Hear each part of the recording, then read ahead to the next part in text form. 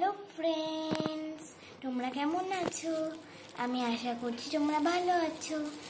আজকে আমি তোমাদের প্লাস্টিক উইথ টুথপিক ক্রাফট দেখাবো।